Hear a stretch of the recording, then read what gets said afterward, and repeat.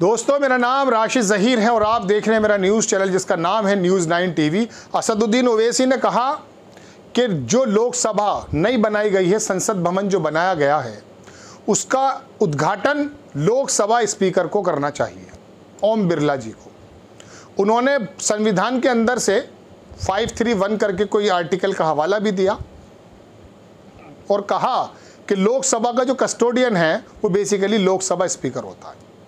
लेकिन प्रधानमंत्री जी कर रहे हैं। कौन रोक सकता है साहब? लेकिन अब इसका बहिष्कार किया है 19 पार्टियों ने, मैं आपकी स्क्रीन पर लगाऊँगा। मैंने उन पार्टियों को बड़ा गौर से देखा, दर्शकों।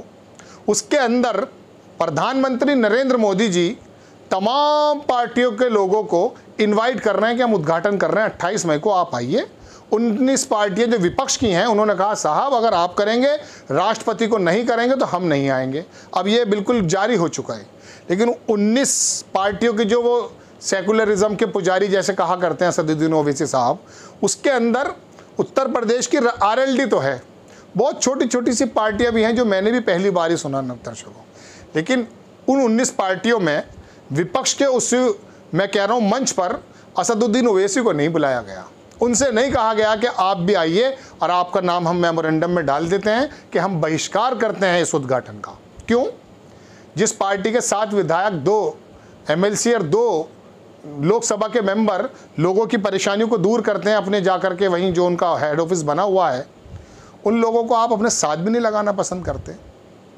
भारतीय जनता पार्टी हिंदुत्व की सरकार की बात जैसे कही जाती है, वो तो असदुद्दीन ओवैसी की पार्टी को बुलाती है उद्घाटन में।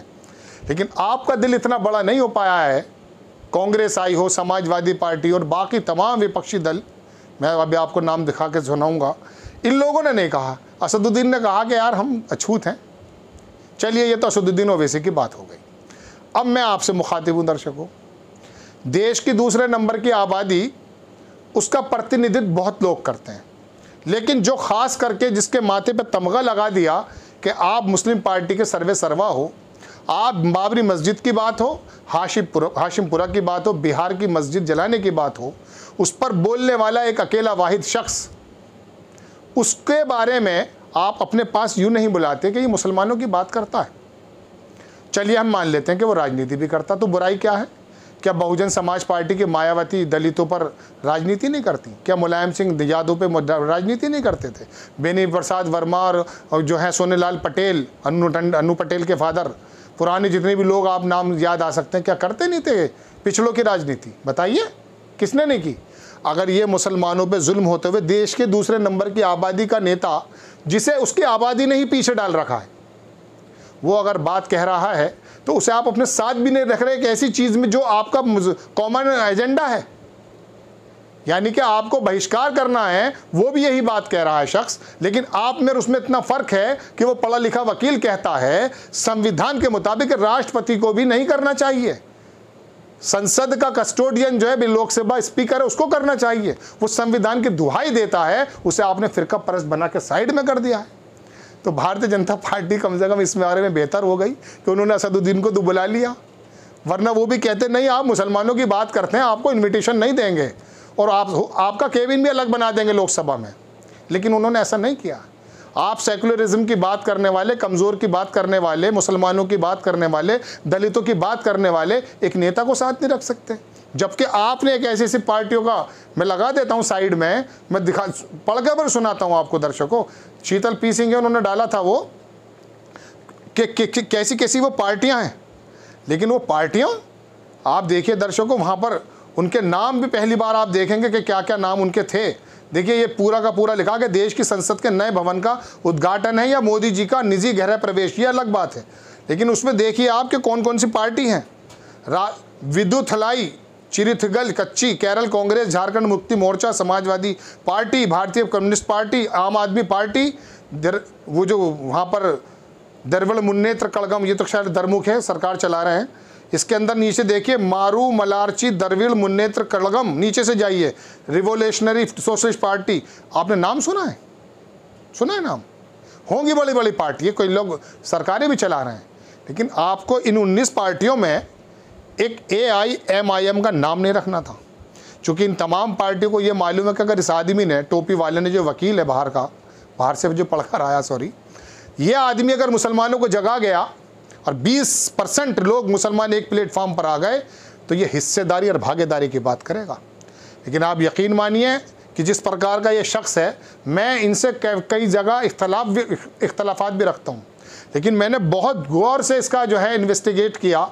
जितनी भी मेरे अंदर अकल अल्लाह ने दी थी, मुझे महसूस ये हुआ कि वाकई कभी कभी भारतीय जनता पार्टी को फ़ायदा पहुँचता है। मैं इसके कैंडिडेट से भी बोला हूँ। इनके जो कई नेताओं से मेरी बात भी हुई।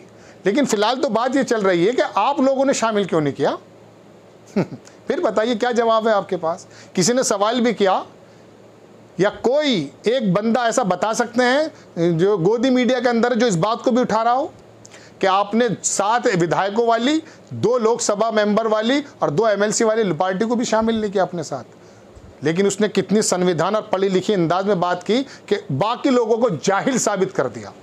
उसने कहा, संविधान के मुताबिक लोकसभा के स्पीकर को करना चाहिए, ना कि राष्ट्रपति को। आप तो जज्बाती तकरीर करे जा रहे हैं। अगर नरेंद्र मोदी पर यह आरोप आप लगाते हैं कि वो इतिहास में अमर हो जाना चाहते हैं और अपना नाम हर जगह डालना चाहते हैं तो आप तो बहुत से लोगों का नाम भी आगे नहीं आने देना चाहते। वो कांग्रेस उस ज़माने में क्या थी?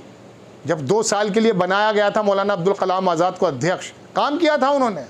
और उसके बाद क्या मुसलमान को चीफ मिनिस्टर बनाने का कोई नाम ले सकता है? अभी कर्नाटक के अंदर दर्शकों सिर्फ़ डिप्टी सीएम की बात की थी, हालाँकि वो भारतीय जनता पार्टी का वक्फ बोर्ड का मौलाना था। मैंने उसको जो है कंडेम किया। लेकिन एक बात बताइए, पूरा का पूरा जो सत्ता दल के लोग हैं भारतीय जनता पार्टी के, उनको ऐसा लगा जैसे कोई असंवैधानिक बात कर दी हो। मुसलमान अगर डिप्टी सीएम की कोई बात कह दी जाती है, निकल कर आ जाती है तो कोई बुरी बात है। कांग्रेस ने पहले बनाई नहीं है क्या? लेकिन दर्शकों, बात इतनी है, ये तो हो गया इनका लेखा जोखा। लेकिन जो दीवाना, जो पागल तुम्हारी बात कह रहा है, क्या आप लोग उसके साथ हैं?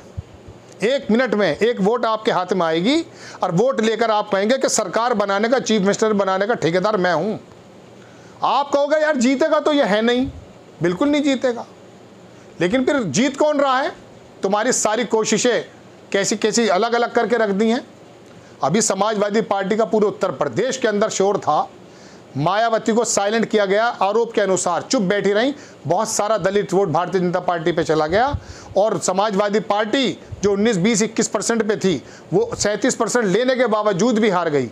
सौ सवा सौ सीटें आ गई, बैठ गए एक तरफ़। क्यों? आपकी एक वोट निकलती है और कहते उसकी ये काटेगा। काटता, इसमें भी कोई दो राय नहीं है। मैं कह रहा हूँ आपसे। दिल्ली के अंदर ये चुप भी बैठे हैं जब केजरीवाल लड़े हैं। लेकिन बाकी इलेक्शंस में कभी कभी जो सीट्स आपको दिखाई देती हैं, वहाँ तो आप अपना वज़न दिखाइए। दलित तो नहीं कहता है कि ये काटेंगी वोट। जहाँ बहन जी ने कह दिया, वहाँ चले गए। फिर दलितों को क्या हालात हुई? दलित के हालात ये हुए कि भारतीय जनता पार्टी की सब बहुजन समाज पार्टी की सरकार में दलित के बेहतरीन हालात हुए। नौकरियों में हो बाकी फैसिलिटीज़ में हो, इसलिए वो बहन जी को पसंद करते हैं। अब उसके हा, उसे आपने चपरासी तक तो बनाया नहीं बेचारे को। यहाँ इधर रीजन में। वो क्या काम करेगा? कौन से मसले को हल करेगा? मसले हल राजनीति से तो होंगे ना।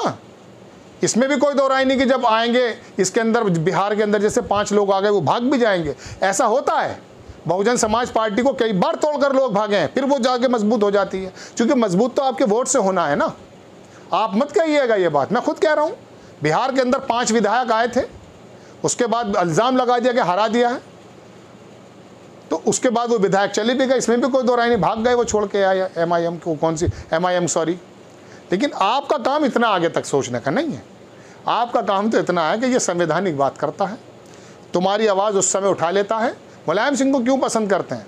जब बाबरी मस्जिद का पहली बार फैसला आया था, जब तीन जगह हिस्से में थी, उस समय मुलायम सिंह ने यही तो कहा था दर्शकों कि मुसलमान ठगा हुआ महसूस कर रहा है, जब देश में कोई नहीं बोला था। इसीलिए तो मुलायम सिंह को पसंद करते हैं आप और हम। क्योंकि इंसाफ की बात कह दी थी उस वक्त नकारात्मक माहौल में। और ये आदमी बात कहता है आप इसके साथ खड़े नहीं होते हैं।